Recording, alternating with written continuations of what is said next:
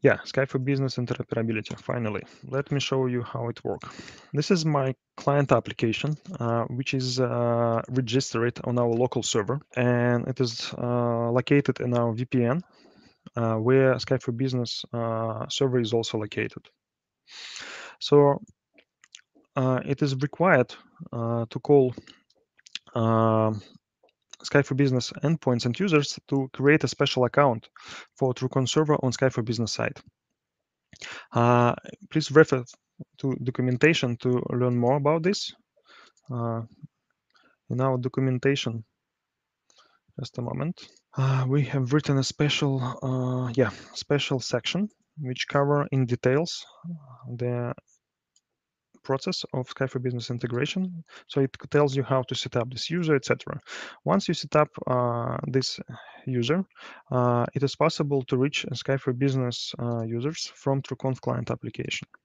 So I have Skype for Business endpoint here. Mm -hmm. and all I have to do uh, is to um, call uh, call Skype for Business user over SIP protocol. In our system, to call over SIP protocol, I have to enter hash, SIP, and colon. And after the colon, I have to specify the username uh, of Skype for Business user I'd like to reach. Uh, my Skype for Business client is uh, authenticated under username user8. So let me call him user8. Uh, I will copy to my notebook uh, what I'm calling. So this is the address Okay, let's scroll a little bit. So I will call this user. And after that, I will receive the call in my corner. I'm sorry for Russian localization for Skype for Business Client, but I don't think it will create any problem for you. So uh, you can see that uh, the quality of video is uh, pretty nice. It actually scales from 360p to 720p, depending on network conditions. Uh, and, and it is possible to do a lot of funny things using this Skype for Business integration. So let me show you. Uh, I will drop this call uh, and uh, will and show you how to call back. So I know that user nine is actually a special user uh, under which the TrueConf server is connected, is registered on, on Skype for Business server. Uh, I will uh, write down this for you, just a moment. So user nine is actually is actually a TrueConf server. This is for your reference. So I will open a chat with user nine and we'll try to call him. And the call will be immediately terminated. You see that the call is terminated because uh, it is not possible to call TrueConf server user uh, because it is a gateway uh, and we didn't tell the gateway uh, the default destination uh, for when someone call it it is uh, when default destination is not set nobody will be called so the the call was dropped but instead the gateway sent me a text message which cover all commands it supports.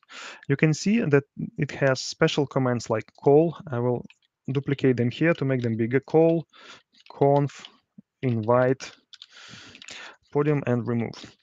It, these commands allows you to control the conference uh, on the TrueConf server. Okay, so what I want to do is to call my user uh, back uh, from uh, Skype for Business. Um, to call back, I have to tell TrueConf server user, which is user 9, a special command, which will sound like call L-Y-A-K-U-P-O-V. This is my ID in our system. And I have to not call. I don't need to press here. I have to send the message. And our server will call me back okay i'm i'm accept the invitation. And it also calls my client the server calls my client application and when i reply the gateway connect us together. Yeah uh, the resolution will scale a little bit.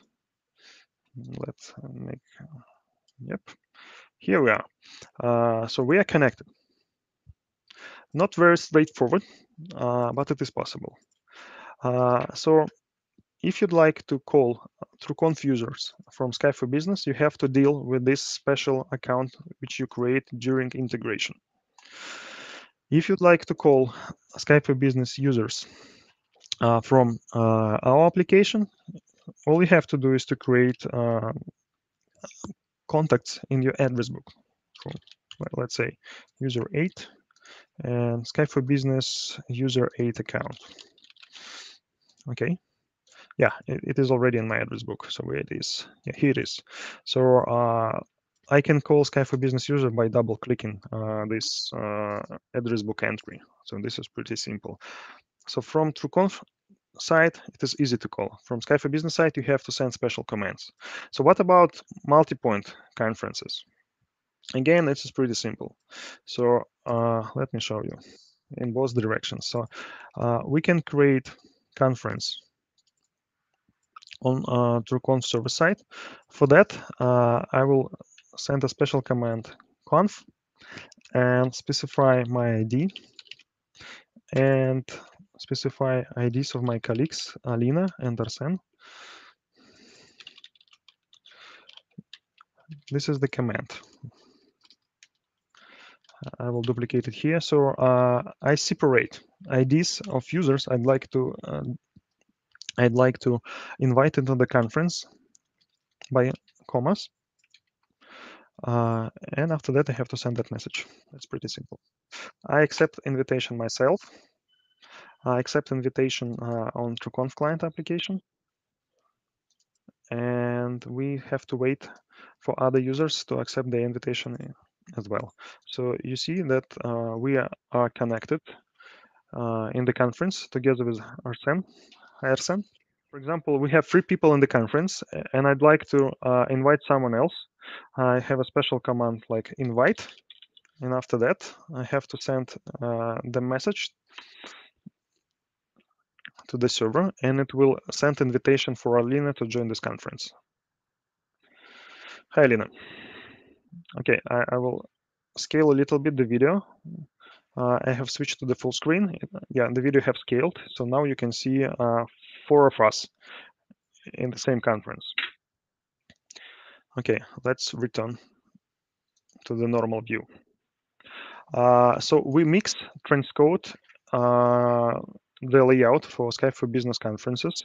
So it is possible to invite into the same conference uh, different endpoints, uh, SIP and free-to-free endpoints um, by means of these commands, or we can do the same stuff from TrueConf application. Let me show you that as well. So I dropped this call for everyone. Thank you, guys. Yeah, four stars. That should that sounds good. Take my feedback, Microsoft. Uh, from TrueConf client application side, I basically have to do the same stuff. I create a conference. Uh, I'm in the conference. After that, I have to uh, find um, people. Okay, Alina, Arsen, and Skype for Business endpoint. So we have created the conference.